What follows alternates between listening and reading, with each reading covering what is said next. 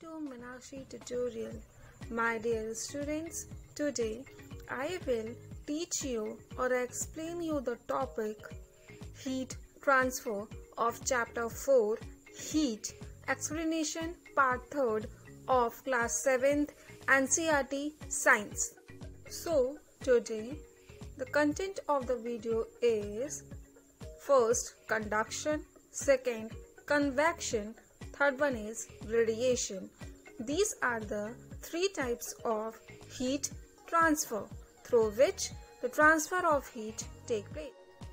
Let's begin explaining the chapter 4 heat. Today's topic transfer of heat.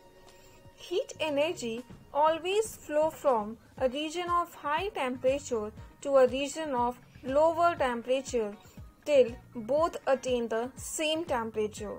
This phenomena is called transfer of heat heat जो energy होती है, वो आपका जहाँ पे, वो रीजन जहाँ पे उसका टेम्परेचर ज़्यादा है, उस रीजन से लोअर टेम्परेचर की तरफ़ आती है, वाले रीजन में आती है, जहाँ पे उसका जो टेम्परेचर है, वो लो है।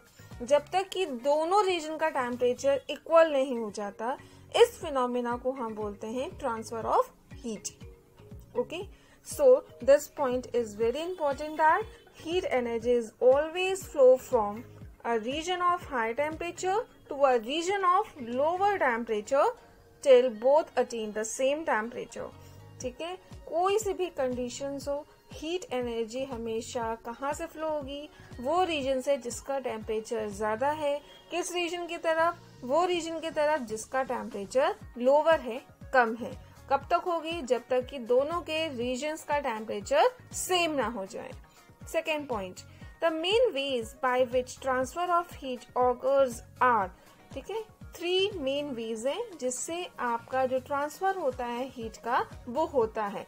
First one is conduction second one is convection third one is radiation so we can discuss topics one by one uh, these transfer of heat methods one by one the first one is in conduction Conduction is the transfer of heat from a hotter part to a colder part of an object due to collision of its particles without actual movement of particles from their position is called conduction.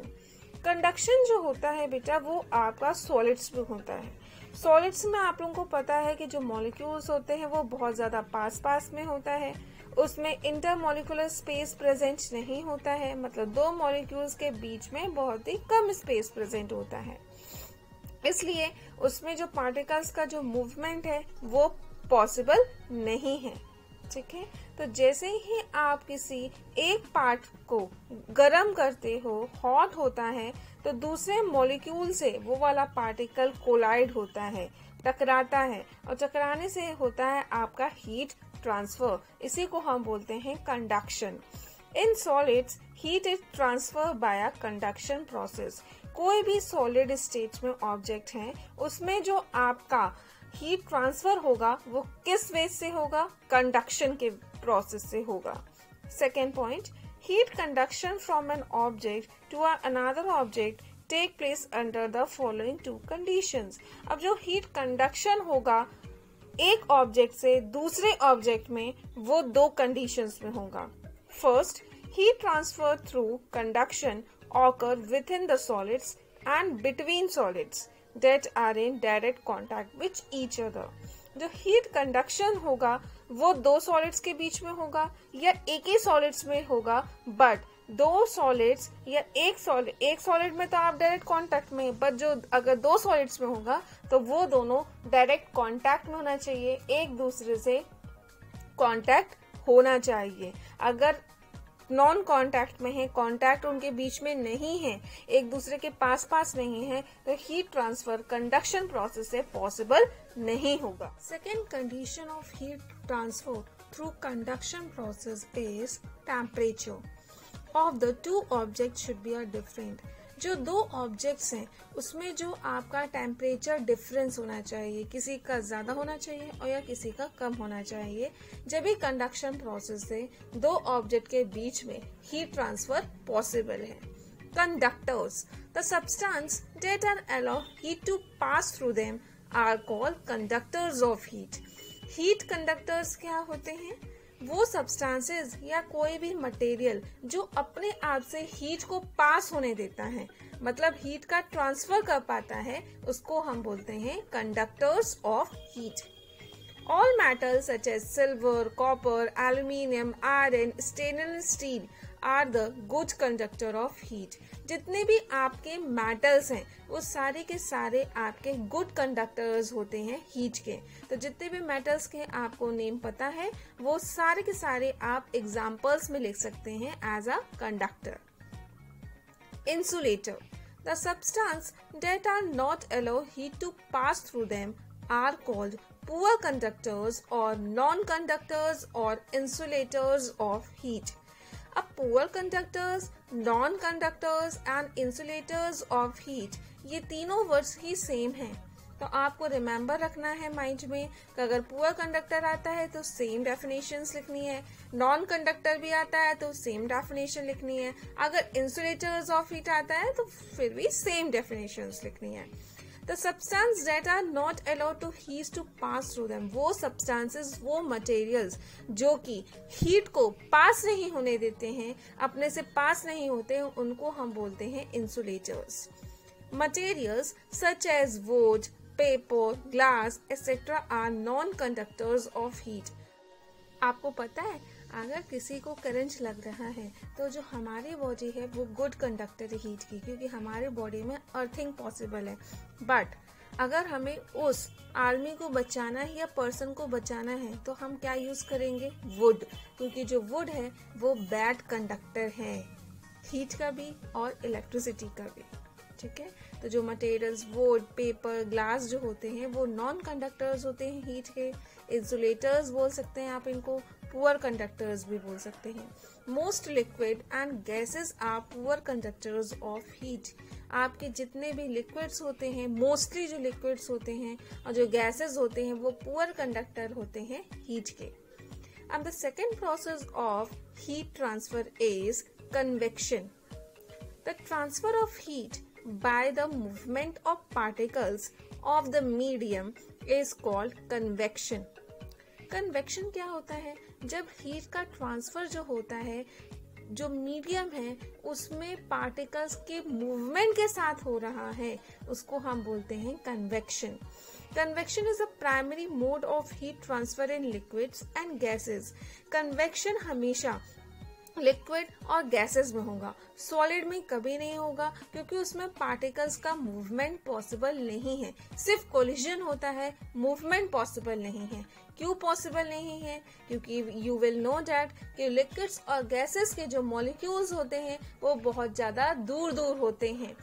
As compare to a solid molecules तो इसमें inter molecular space ज़्यादा होता है, इसलिए इसमें particles move हो सकते हैं।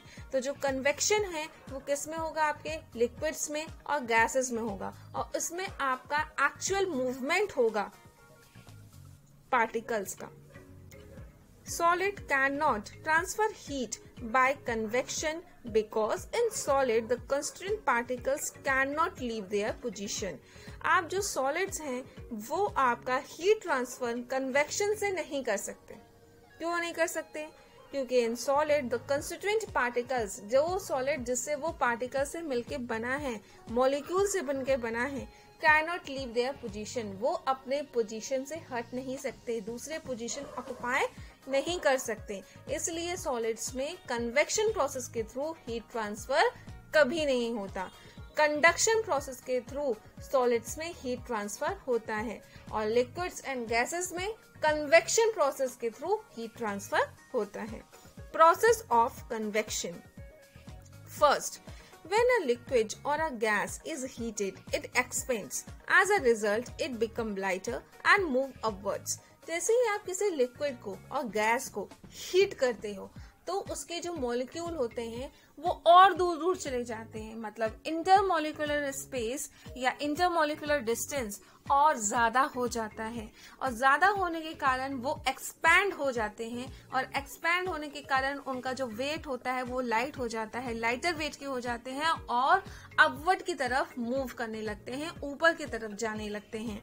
ठीक है? Second the cooler heavier fluids from the surrounding rushes to take its place and is heated in turn.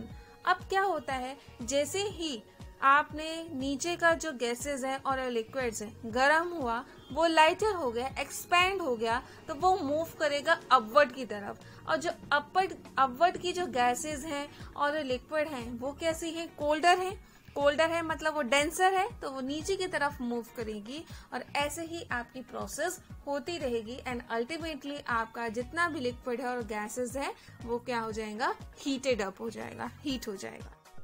Third step in the process of convection is this process continues and give rest to one convection current अभी जो process explain करी थी तो वो क्या होने लगेगी? Continuously होने लगेगी।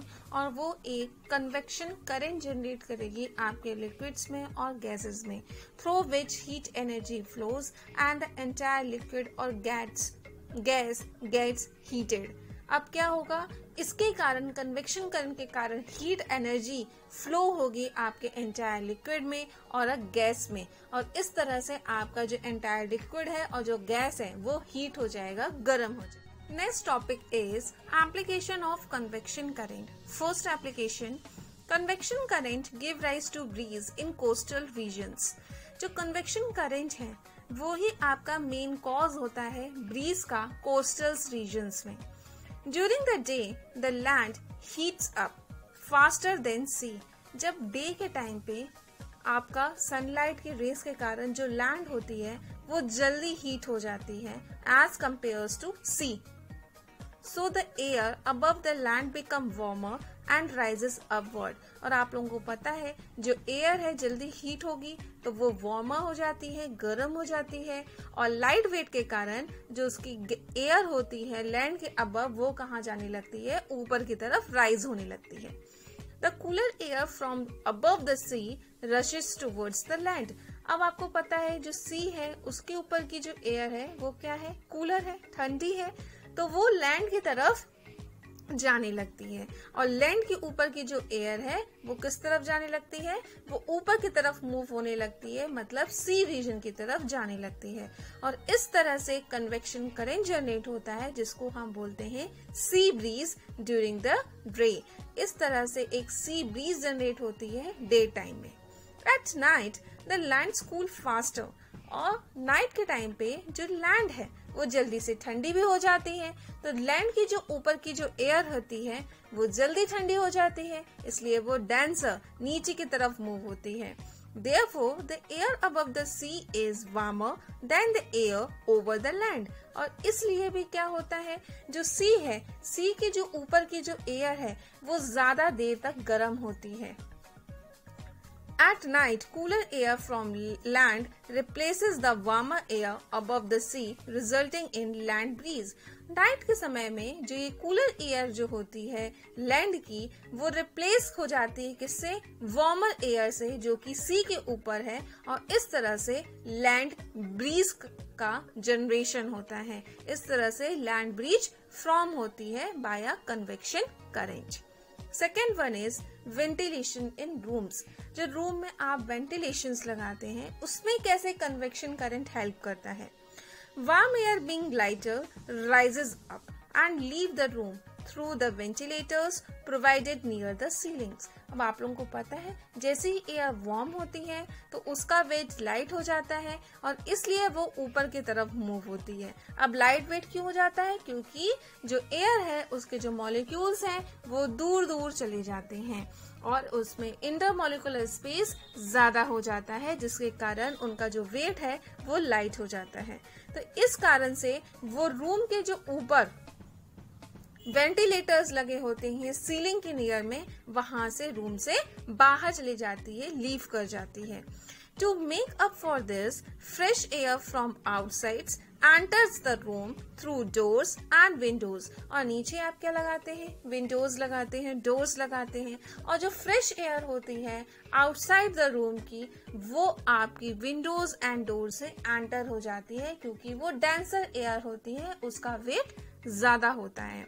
The convection current so set in the air helps in keeping the air in the room fresh और इस तरह से कन्वेक्शन करंट जनरेट होता है सेटअप होता है और आपकी रूम में फ्रेश को रखता है, आपके रूम को फ्रेश मेंटेन रखता है। द थर्ड टाइप या means of heat transfer is radiation direct transfer of heat from a hot body to a cold body, having no contact between them. Without the help of any medium is called radiation. Radiation कब होगा? जब आपका कोई भी medium नहीं है। ना ही solid है, ना ही लिक्विड है और ना ही गैस है। और दो ऑब्जेक्ट के बीच में कांटेक्ट भी नहीं है, जो कि आपके कन्वेक्शन एंड कंडक्शन के लिए इम्पोर्टेंट कंडीशन है नेसेसरी कंडीशन है। तो ये रेडिएशन जो होता है, वो डायरेक्ट ट्रांसफ़र है हीट का। हॉट बॉडी से कोल्ड बॉडी की तरफ़, जिसमें कोई भी कांटेक्ट नहीं है एंड कोई भी मीडियम नहीं है। इसको हम बोलते हैं radiation the sun transfer heat by radiation और सबसे ज़्यादा इम्पोर्टेंट एग्ज़ाम्पल है कि जो सन है उसकी रेडिएशन हमारे तक कैसे पहुँचती है? बाय अ रेडिएशन प्रोसेस के थ्रू क्योंकि उस, हम सन और हमारे बीच में कोई भी डायरेक्ट कांटेक्ट नहीं है। ना ही कोई मीडियम प्रेजेंट है, ना ही सॉलिड लिक्विड है, ना सॉलिड लिक्विड गैस कोई भी मीडियम प्रेजेंट नहीं है। बट हीट ट्रांसफ़र हो रहा है। So there is an third way is a radiation through which the heat can transfer from sun to to the peoples ठीक है? ये जो मीडियम है रेडिएशन जो मीडियम है, इस तरह से सन की जो रेडिएशन है, वो हमारे तक पहुँचती हैं। All hot objects whether solid liquid और gases transfer of heat by radiation process कोई सी भी हॉट ऑब्जेक्ट हो, चाहे वो सॉलिड हो, चाहे लिक्विड हो, चाहे गैसेस हो, जो ट्रांसफ़र होगा हीट का, वो किस प्रोसेस से होगा? रेडिएशन प्रोसेस से। Radiation needs no medium radiation के लिए कोई भी मीडियम रिक्वायर नहीं है। जैसे कि आपके कंडक्शन में सॉलिड मीडियम होना चाहिए था सॉलिड होना चाहिए था प्लस टेम्परेचर डिफरेंस चाहिए प्लस दो ऑब्जेक्ट के बीच में डायरेक्ट कांटेक्ट भी चाहिए। एंड कन्वेक्शन में क्या चाहिए? आपका गैसेस मीडियम होना चाहिए या फिर लिक्विड मीडियम होना चाहिए। ठीक है? तो इसीलिए जो रेडिएशन है, उसमें कोई भी मीडियम रिक्वायरमेंट नहीं है.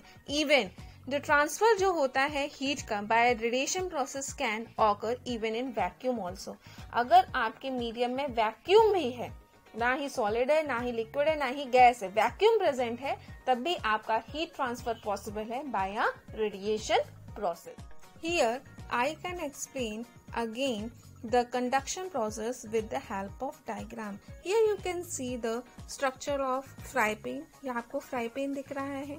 फ्राई पैन को आप गर्म करने के लिए क्या करते हो? बर्नर के ऊपर रखते हो। यहाँ पे दो सॉलिड्स के बीच में डायरेक्ट कांटेक्ट है। तो आपका जो हीट ट्रांसफ़र है, वो नीचे वाले मॉलिक्यूल्स को, ये वाले मॉलिक्यूल्स को ट्रांसफ़र होता है। अब ये जो ऊपर वाले मॉलिक्यूल्स हैं, बिल्कुल पास पास में है इंटरमोलिकुलर स्पेस कम है तो इन दोनों के बीच में क्या होता है? कोलिजन होता है, टकराते हैं। एंड टकराने के कारण क्या होता है? जो आपकी, जो हीट यहाँ पे है हीटेड मॉलिक्यूल्स हैं, वो अपनी हीट यहाँ ट्रांसफ़र कर देते हैं। और देन अनडायरेक्टली आपका पूरा जो फ्राई पेन है, वो क्या हो जाता है? हीटेड अप हो जाता है, गर्म हो जाता है। देन नेक्स्ट प्रोसेस इज़ यहाँ पे आप लोग देख रहे हो एटम्स देखो एटम्स कितने पास में है, इसके मॉलिक्यूल्स कितने पास में है, इनके बीच का स्पेस कितना कम है। तो इसमें क्या होता है कोलिजन स्टार्ट हो जाता है, टकराने लगते हैं मॉलिक्यूल्स इस कारण क्या होता है हीट ट्रांसफ़र होता है और आपका पूरा का पूरा फ्राई पैन क्या हो जाता है हीटेड अप हो जाता है। सेकेंड आपको इसमें दिख रहा है कि कंडक्शन प्रोसेस के लिए हमें क्या चाहिए डायरेक्ट कांटेक्ट चाहिए। यहाँ पे आप देख रहे हो बर्नर और फ्राई पैन के बीच में डायरेक्ट कांटेक्ट है, कोई भी स्पेस नहीं है। और जब आपके मोलिक्यूल्स के बीच में हो रहा है तो यहाँ पे आपका टेम्परेचर डिफरेंस प्रेजेंट है। अब, दो सॉलिड्स के बीच में कैसे हीट ट्रांसफ़र होगा? अब ये फ्राई पैन है, दूसरा ये हैंडल है। अब ये हैंडल हॉट कैसे होगा? कैसे गर्म होगा? क्योंकि आपके जो फ्राई पैन के मॉलिक्यूल्स हैं, वो हैंडल के मॉलिक्यूल्स को हीट ट्रांसफ़र करेंगे एंड अल्टीमेटली आपका जो हैंडल है, वो भी हीट हो जाएगा। तो यहाँ पे भी कंडक्शन हो रहा है। इन दोनों के बीच मटेरियल्स के बीच में भी कंडक्शन हो रहा है। और फ्राई पैन के जो अंदर जो मॉलिक्यूल्स हैं, वहाँ पे आपका कंडक्शन प्रोसेस हो रहा है। तो here I can return that the transfer of heat through a material by direct contact आपका जो कंडक्शन जो होता है, उसमें जो हीट ट्रांसफ़र होता है मटेरियल के थ्रू डायरेक्ट कांटेक्ट के थ्रू होता है। किस कारण होता है? डायरेक्ट कांटेक्ट के कारण होता है। एंड कंडक्शन हमेशा किसमें होते हैं? सॉलिड्स में। हमेशा याद रखेंगे कि जो कंडक्शन प्रोसेस है, वो हमेशा सॉलिड्स में होती है। कभी भी आपके लिक्विड्स और गैशियस में नहीं होगी। Through this diagram I will again show the convection process here you can see the this one is a burner burner से आपका ये किचल है, जिसमें आपने कॉफ़ी या वार्म वाटर कुछ भी रखा है, गर्म होने के लिए। अब क्या होगा बर्नर से हीट ट्रांसफ़र होगी। कहाँ पे? किचल में, ठीक है, जिसमें आपने चाय रखी है। अब, जैसे ही हीट ट्रांसफ़र होगा तो यहाँ पे आपका हो रहा है कंडक्शन ओके यहाँ पे कौन सी प्रोसेस हो रही है इन दोनों के बीच में? कंडक्शन प्रोसेस हो रही है, क्योंकि डायरेक्ट कांटेक्ट में है और दोनों ही सॉलिड है। नेक्स्ट अब वाटर जो है, वो आपका लिक्विड है, ठीक है? इसलिए यहाँ पे कौन सा हीट ट्रांसफ़र होगा? कन्वेक्शन होगा। अब कन्वेक्शन होगा कैसे? अब आप यहाँ पे देख रहे हैं कि जो यहाँ के जो मॉलिक्यूल्स हैं, वो जल्दी गर्म हो जाएँगे, जल्दी लाइट अप हो जाएँगे। और जैसे ही वो हीटअप हो जाएँगे तो उनके जो मॉलिक्यूल्स के बीच का स्पेस है, जैसे दो मॉलिक्यूल्स इतने स्पेस में थे तो गर्म होने के बाद दो मॉलिक्यूल के बीच का डिस्टेंस इतना हो जाएगा। तो मतलब molecular distance intermolecular distance increases जैसे ही इंटरमोलिकुलर डिस्टेंस इंक्रीजेस तो मॉलिक्यूल विल बिकम लाइटर और जैसे ही इंटरमोलिक्यूल का जो डिस्टेंस है, वो बढ़ जाएगा तो आपका जो वेट है मॉलिक्यूल का, वो भी क्या हो जाएगा यहाँ वाले का, कम हो जाएगा, ठीक है? लाइट वेट हो जाएँगे। लाइट वेट होने के कारण वो क्या होने लगेंगे? एक्सपैंड होने लगेंगे दूर दूर जाने लगेंगे और अपवर्ड की तरफ़ मूव करेंगे। अब अपवर्ड की तरफ़ मूव करेंगे, ठीक है? अब यहाँ पे जो मॉलिक्यूल्स हैं, वो कैसे हैं? कोल्ड हैं। कोल्ड है मतलब ठंडे हैं, ज़्यादा हीटअप नहीं है डेंसर है। भारी हैं तो वो क्या करेंगे? नीचे की तरफ़ मूव करेंगे। किस तरफ़ मूव करेंगे? नीचे की तरफ़ नीचे की तरफ़ मूव करेंगे तो ये जो है, यहाँ पे आके फिर से हीट हो जाएँगे, फिर लाइटर हो जाएँगे, फिर ऊपर की तरफ़ जाएँगे एंड ऊपर की तरफ़ जाएँगे तो यहाँ ठंडे हो जाएँगे, फिर नीचे की तरफ़ आएँगे एंड अल्टीमेटली एक कन्वेक्शन करेंट जनरेट हो जाएगा, इसको हम बोलते हैं कन्वेक्शन करेंट जनरेट हो जाएगा, और एक टाइम के बाद आपका जो एंटायर लिक्विड है वो क्या हो जाएगा? गर्म हो जाएगा। एंटायर जो वाटर है, वो गर्म हो जाएगा। तो इसमें क्या चीज़ याद रखना है? कन्वेक्शन करंट में जो हीट ट्रांसफ़र होता है, वो पार्टिकल्स के मूवमेंट के कारण होता है। और हीट ट्रांसफ़र कन्वेक्शन प्रोसेस सिर्फ़ किसमें पॉसिबल है? आपके गैशियस में और आपका लिक्विड मॉलिक्यूल्स में। जो गैशियस एंड लिक्विड हैं, उसमें आपका कन्वेक्शन प्रोसेस के थ्रू हीट ट्रांसफ़र पॉसिबल है. So keep remember in mind that in convection process the heat transfer possible only through the movement of the particles in a gaseous और a liquid here I can again explain the application of convection current with the examples the first one is sea breeze How the sea breeze is formed. Here you can see that during a day because of presence of sunlight the gases the air above the land warm faster जो land के ऊपर की जो air है वो जल्दी गर्म हो जाती है और आपको पता है जो लाइटर एयर जैसे ही गर्म होती है दे राइजेस अपवर्ड ये कहाँ जाती है अपवर्ड की तरफ़ जाती है तो warm air from the land अब ये कहाँ जाएगी वॉर्म एयर यहाँ जाएगी। ठीक है? सेम एट इज़ जो कूल एयर है ओशन के ऊपर की, वो किस तरफ़ आएगी? लैंड की तरफ़ आएगी। इसको हम बोलते हैं सी कूलर और a sea breeze second one land breeze during a night, there is no sunlight. ठीक है? लैंड जब अब नाइट हो जाता है तो वहाँ पे क्या नहीं होता है? सन नहीं होता है। सनलाइट नहीं होती है तो लैंड की जो ऊपर की जो एयर होती है, वो जल्दी से कूल हो जाती है। और कूल होने के बाद ये आपकी कहाँ पे जाती है ये? जो सी के ऊपर की जो एयर है, वो जल्दी से कूल नहीं हो पाती है, इसलिए वार्म रहती है। तो वार्म एयर जो होती है, वो लैंड की तरफ़ मूव होती है एंड जो कूलेस्ट एयर होती है वो लैंड के ऊपर वाली वो मूव होती है सी की तरफ़। इसको हम बोलते हैं land breeze so the sea breeze and land breeze take place due to a convection current up by a temperature difference क्योंकि सी ब्रीज और लैंड ब्रीज किसके कारण हो रहा है? कन्वेक्शन करंट के कारण हो रहा है। और कन्वेक्शन करंट टेम्परेचर डिफरेंस के कारण हो रहा है। So this is the example of an convection current through this diagram I can show the how the radiation process can take place. Here, you can see the burning fire. आपको दिख रहा है यहाँ पे बर्निंग फायर आग जल रही है। उससे क्या होगा? हीट ट्रांसफ़र होगा। अब यहाँ पे कोई भी मीडियम हो सकता है सॉलिड भी हो सकता है लिक्विड भी हो सकता है गैस भी हो सकता है। अगर तीनों नहीं है तो वैक्यूम भी हो सकता है। ठीक है? अब आपको अपने हैंड विंटर सीज़न में क्या करते हो? गर्म करते हो। तो बिल्कुल आग के पास तो नहीं ले जाते हो। डायरेक्ट कांटेक्ट में तो नहीं है। इनडायरेक्ट कांटेक्ट में है। दोनों के बीच में क्या है? डिफरेंस दिख रहा है। डिस्टेंस है। ठीक है? तो इसमें जो हीट ट्रांसफ़र हो रहा है, वो हो रहा है आपका रेडिएशन प्रोसेस के थ्रू और ये वाला जो हीट ट्रांसफ़र है, वो आपका किसी में भी हो सकता है। चाहे आपका सॉलिड हो, चाहे लिक्विड हो, चाहे गैसेस हो, या तीनों मीडियम ना प्रेजेंट हो, अगर वैक्यूम भी है तो उसमें भी ये जो मेथड है हीट ट्रांसफ़र का, वो पॉसिबल है। Here I can summarise the all the type of heat transfer ways in one picture the first one is conduction the transfer of heat energy thermal energy from one material to another by direct contact अब यहाँ पे क्या देख रहे हो? Conduction process में remember रखना है माइंड में कि ये आपका डायरेक्ट कॉन्टैक्ट प्रोसेस से होगा। एग्ज़ाम्पल क्या लिखा है? If you use a metal stick for fire your hand will gets hot जैसे ही आप मेटल स्टिक यूज़ करते हो फायर को जलाने के लिए तो आपका जो हैंड होता है, वो हॉट हो जाता है।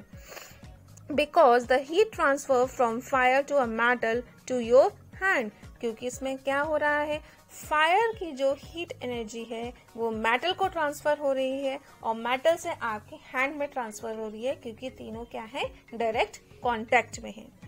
Second one is convection The transfer of thermal energy by the circulation or a movement of a liquid or a gas. अब आपका कन्वेक्शन में जो ट्रांसफ़र होता है हीट एनर्जी का, वो सर्कुलेशन के कारण होता है या मूवमेंट के कारण होता है लिक्विड्स में और गैसेस में। इसमें डायरेक्ट कॉन्टैक्ट रिक्वायरमेंट नेसेसरी नहीं है। In hot air balloon the hot gas from the fire raises the balloon अब आपने देखा है हॉट एयर बैलून आप लोग दिवाली में करते ही हो, ठीक है? अब दिवाली में जब हॉट एयर बैलून जलाते हो तो वो ऊपर की तरफ़ मूव होता है। क्यों? क्योंकि उसकी जो ऊपर की जो एयर है वो कैसी हो गई है? लाइटर हो गई है। उसके मॉलिक्यूल का जो डिस्टेंस है वो ज़्यादा हो गया है। एंड लाइटर होने के कारण वो अपवर्ड राइज करेगी ऊपर की तरफ़ जाएगी। ठीक है? तो ये जो प्रोसेस है यहाँ पे क्या हो रहा है? कन्वेक्शन हो रहा है। Third one is radiation. When energy is observed by the surface, it heats the surface. जब आपका कोई भी सरफेस एनर्जी को एब्जॉर्व कर लेता है तो वह आपके सरफेस को गर्म कर देता है। ठीक है? अब इसके लिए मीडियम रिक्वायरमेंट नहीं है। सॉलिड भी हो सकता है गैसेस भी हो सकते हैं लिक्विड्स भी हो सकते हैं। तीनों ही मीडियम में आपका रेडिएशन प्रोसेस के थ्रू हीट ट्रांसफ़र हो सकता है। बट तीनों ही प्रोसेस में डायरेक्ट कांटेक्ट नहीं होना चाहिए। ये इनडायरेक्ट कांटेक्ट में पॉसिबल है रेडिएशन प्रोसेस के through heat transfer using a microwave creates radiation to heat up food in your microwave अब आप लोग जब माइक्रोवेव यूज़ करते हो तो वो माइक्रोवेव जो होता है, वो माइक्रोवेव रीजन में वर्क करता है। एक रेडिएशन रेंज होता है उसका।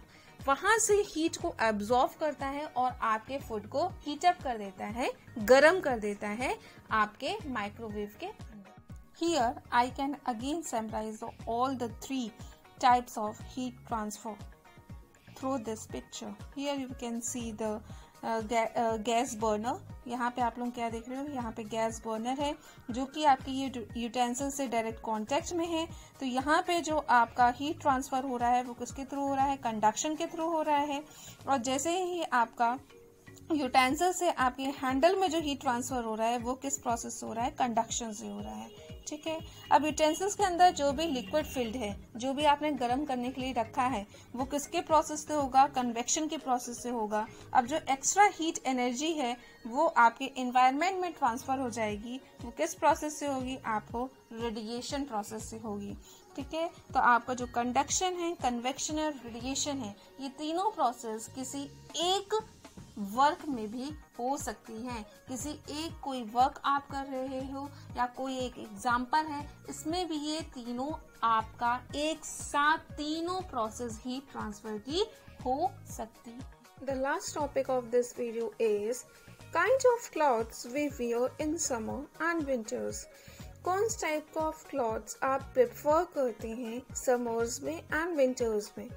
First point we wear white और a light colour cloth during summer, but darker cloth during winters हम क्या करते हैं? हम सोचते हैं कि हमें लाइट कलर क्लॉथ पहनना चाहिए समर्स में और डार्क कलर के क्लॉथ पहनना चाहिए विंटर्स में. दिस इज़ बिकॉज़ व्हाइट और light colour cloth absorb less heat and keep us cool during summer क्योंकि जो व्हाइट और लाइट कलर्ड क्लॉथ होते हैं, वो लेस हीट एब्जॉर्व करते हैं और हमें समर में हमारी बॉडी को कूल रखते हैं।